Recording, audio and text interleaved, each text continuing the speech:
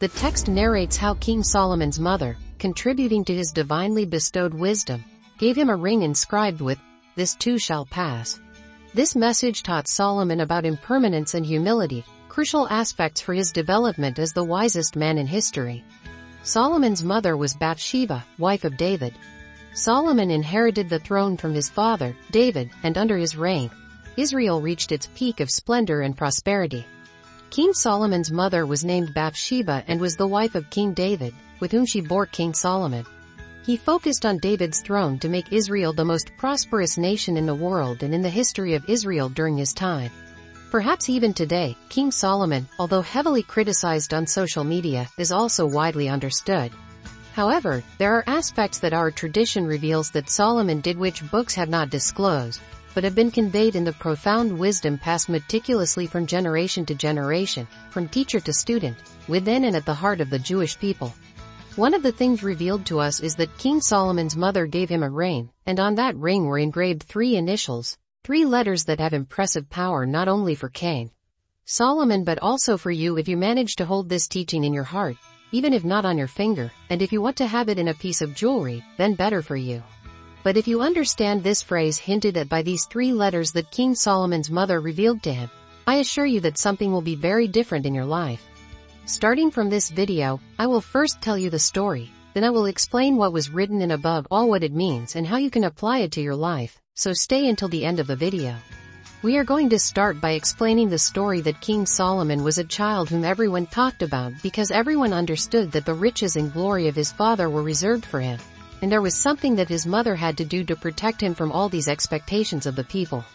One day, she went and asked to engrave three letters on a ring and gave it to him. These letters were Gimel, Zayin, and Yod. Three letters that are the initials of three words that form a phrase. Gam Yabor. Gam Yabor means, this too shall pass. Yes, this too shall pass, ETP if we want to say it in Spanish letters, and you're going to tell me, well, what's so mysterious about this ring? What's so wise about this message? When King Solomon's mother gave him this ring, she told him, Son, I want you to always remember in every event of your life these three words. Gam Yabor. This too shall pass, and he asked, Mom, when do I have to remember this? When things are going bad and I have to remember that this bad phase will also pass. She said, No son, in every event of your life I want you to remember this, when you feel suffering and pain. I want you to remember it's not worth sinking into that pain. It's not worth dwelling on it too much because this too shall pass. But I want you to know that when you have much wealth, when the world gives you much glory I want you to know it's not worth getting too carried away because this too shall pass. Indeed, the message is very profound. In good times, when you're happy, do not overflow with joy, and in bad times, when you're sad, do not be overly sad. It's never worth it because both sadness and joy will eventually pass. And what happens when someone clings too much to something, for example, to the joy they have and does not understand that it is fleeting, does not understand that this world is a transient world, they cling to it, and when it leaves, they are not only sad about the event that caused the joy to leave but even more saddened beyond the event by the departure of the joy, by the melancholy of having lost all that they once had. But if from the beginning, they had enjoyed the present and had said, while this experience I'm living lasts, I will be grateful and enjoy it, but I understand that if at some point it goes, this is not something new but is one of the things in this transient world that all are transient and when it passes, it will have passed, and something new will arrive. And I don't have to worry because that new thing that arrives will also pass. Gamze Yabor, that is what Bathsheba revealed to King Solomon. She gave him the ring and told him, If you want to be the wisest man in the world, you have to live in this world with the consciousness that is the consciousness of Gamze Yabor.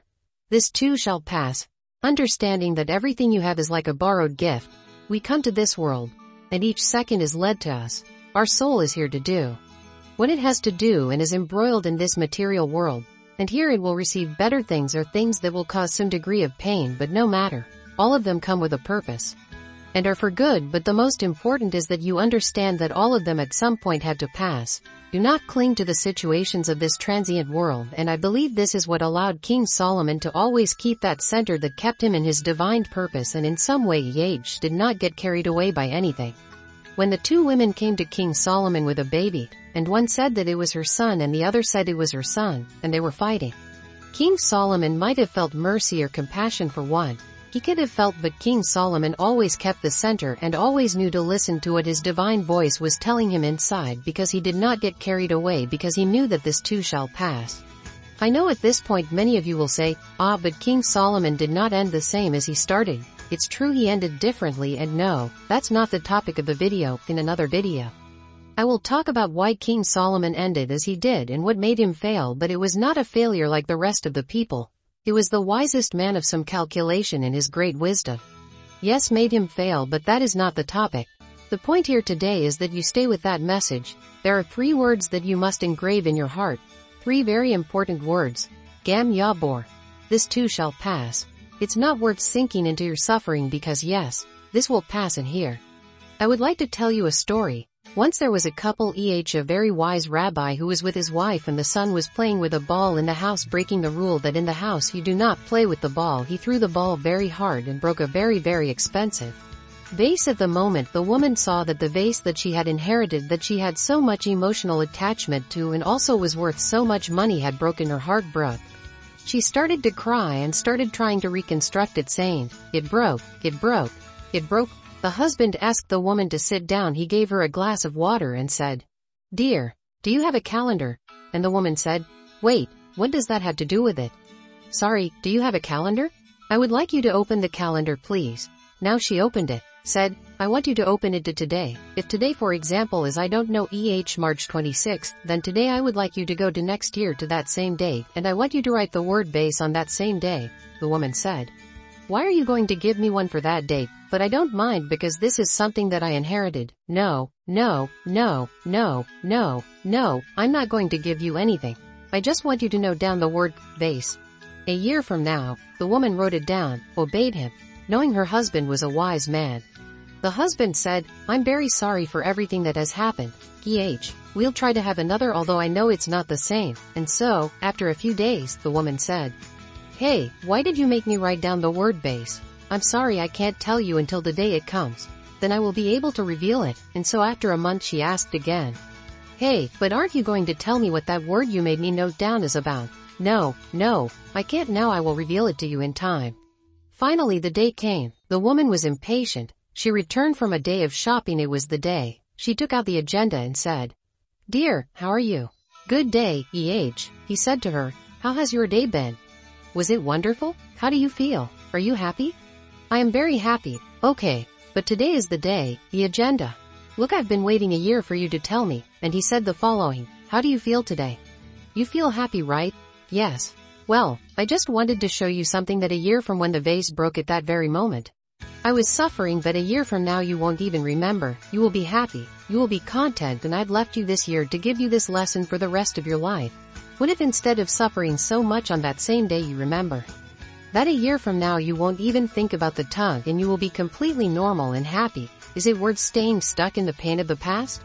Yes, Gam also this must pass and this was the great lesson that this man gave his wife telling her the next time something happens just think that a year from now you won't even remember it.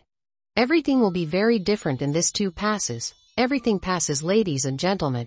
It's not worth clinging so much to the things that happen to us, it's worth being happy all the time and grateful, but sometimes we EH are too attached to the things we have as if that were what was going to change the rest of our lives and also that will pass at some point. So everyone understands the only thing they have is the moment of now and that connection with the creator which is forever. The rest of the things are transient, they're good, we want them, we live them and it is all something very profound that we want to live but in the end we understand what King Solomon's mother left engraved in sound, Gam Z and if you liked this video and learned something.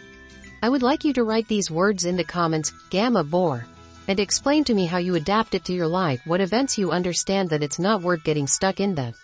Because you know what will happen and tell me a little bit in the comments. I will be reading to leave me a like and subscribe to the channel. If you haven't done it and above all above all from receivers to givers. How we can move from receivers to givers sharing this video with other people and that this motto that King Solomon carried in his life reaches each person in the